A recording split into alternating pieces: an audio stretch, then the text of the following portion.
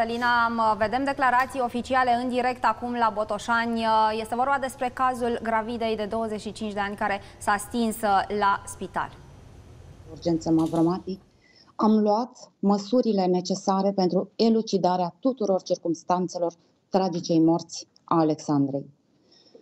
Mi-e greu să găsesc cuvintele potrivite pentru a-mi exprima revolta. Este inadmisibil ca astfel de cazuri atât de grave să se petreacă în unitățile sanitare. Este inadmisibilă atitudinea cadrelor medicale care s-au ocupat de Alexandra. S-au demarat, începând cu ziua de vineri, mai multe anchete cu privire la acest caz, iar cei vinovați vor plăti. Am solicitat și solicit cu fermitate găsirea și pedepsirea cât mai urgentă a vinovaților rapoartele comisiilor administrative și de disciplină din cadrul Spitalului Județean, precum și cel al Direcției de Sănătate Publică Botoșan, arată clar că în cazul Alexandrei au existat erori, motiv pentru care cer și solicit ferm demisia medicilor implicați în acest caz. Medici care au arătat o totală lipsă de empatie față de o femeie aflată în suferință, și carențe uriașe de profesionalism. Este o perioadă foarte grea pentru botoșeneni și ar fi trebuit ca aceste cadre medicale să facă un gest minim de responsabilitate în fața unei asemenea tragedii. Aceste demisii trebuie să vină rapid și fără ezitare, pentru ca așa ceva să nu se mai întâmple. Cine are de făcut treabă să o facă, iar cine nu-și face treaba să răspundă. Cine nu înțelege să-și facă treaba, să plece.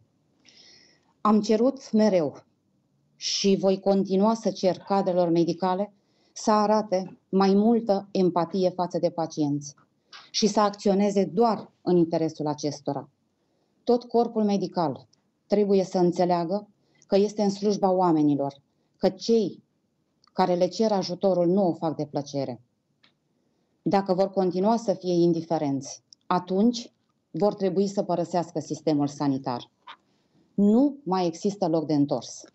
Solicit, pentru că am informații în acest sens, tuturor cadrelor medicale medii care au cunoștință de situații de neacceptat, ce se petrec în unitățile sanitare, să iasă și să le spună. Vor avea tot sprijinul nostru pentru a îndrepta aceste situații. Nu se mai poate continua așa. Botoșănenii nu merită un astfel de tratament din partea unor medici, a căror atitudine lasă extrem de mult de dorit. Cei implicați în tragicul caz al Alexandrei nu au avut nici măcar bunul simț să-și ceară scuze familiei, să vorbească cu aceasta și să le explice ce e